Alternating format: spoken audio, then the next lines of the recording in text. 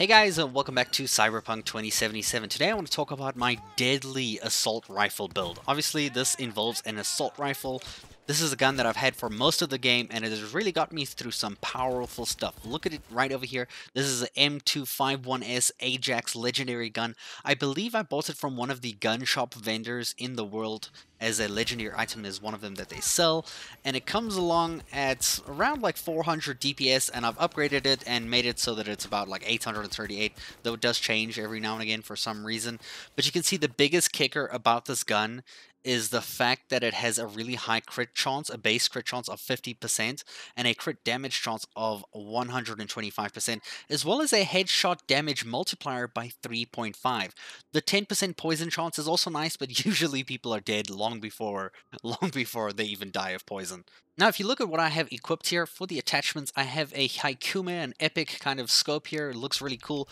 I actually really like the Hyakuma, the scopes here. They look like this has the little red kind of like square that's like rotated, almost like diamond shape. This is one of my favorite ones in the game. It just works for me perfectly every single time I use it. In terms of the mods, the first mod that I have here is an epic one called Penetrator, which increases my critical chance by 5%, which is actually increased by a lot more if you actually look at the gun here. If you hover over the gun, I don't understand how this works at all. It's almost like it just copies your your gun's base crit chance and then changes the mod to it because if you look over there at the bottom it says increases crit chance by 50.21% increases crit chance by 50.21% where both of these are just increased crit chance by 5% so it's a little weird. I don't know, really understand how mods work or are affected in this game. It's kind of odd. And then I have one that increases my damage by 7, but it actually increases my damage by 35.4. And then finally, this last one here increases my critical hit damage by 10%. And this obviously changes to 125% as per my normal one that I already have equipped. So if you do the math here, it basically means I'm doing a critical shot like really, really frequently and a lot of crit damage and means headshots are nuts. Now if you look at my actual perks that I've involved in here, I'm using reflexes as like my, my main kind of build for my character. You can see for my assaulting, I've basically expect into every single thing here. Obviously, the, one of the best ones here is on the left, increasing your damage with rifles and submachine guns by 35% just when standing still. But there's also some that increase your damage like by doing other things like moving or hitting moving targets or like while aiming down. So generally this just increases your assault rifle's damage.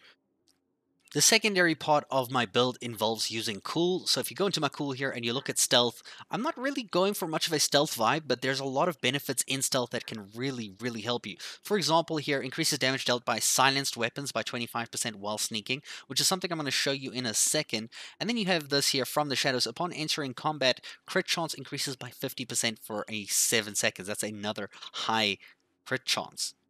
And then you have this one here that increases your crit chance by 15% just while sneaking, so you have a high chance of critting while being in sneak. And then of course you definitely need this one here, the Assassin perk, which allows you to deal 15% more damage to human enemies, which is generally most of what you're going to be fighting. But if you are afraid of robots, you can actually go to your technical ability and go to engineering. There is a perk, I believe, over here. This one called Blade Runner increases damage to drones, mechs, and robots by 40%. And then inside of the cool attribute, there is a section here called Cold Blood. And in Cold Blood, there is a perk that you definitely need, especially if you are playing the a headshot type of build. And this is this one over here, because it increases your headshot damage by 50%, which is very, very high.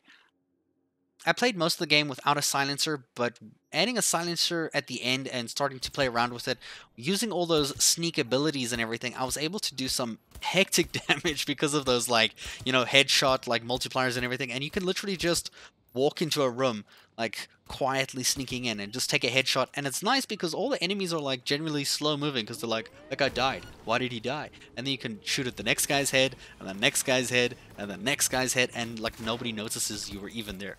Otherwise you can just run in there guns blazing and shoot everyone in the face the, like the, the, the hectic action packed way which how I've played most of the game but towards the end, I actually played it like really casually with a with this like muzzle over here to kind of like get that 2.5 times damage multiplier when attacking from stealth, which uh, makes my damage do a lot more. I'm actually getting crits about 100k damage crits to the head, which is instant kill for most of the enemies I'm fighting. Pretty much every single enemy I'm fighting dies when I shoot them in the face. The only drawback is because it's a silencer, it reduces your like base damage by 15%, but because you're doing like massive crits, it really you're you're getting a lot more benefits than you are getting like losses. So as long as you're playing a stealth build or you're playing in stealth and you kind of like start your combat with this, you're going to kill everything like one shot and it is just the most broken deadly assault rifle I can possibly imagine. And for some reason you can see the DPS has changed again from 800 to 700. That makes no sense to me. I really don't understand this thing sometimes. But I hope you guys enjoyed this video, and I'll see you guys in a future one. Thank you so much for watching.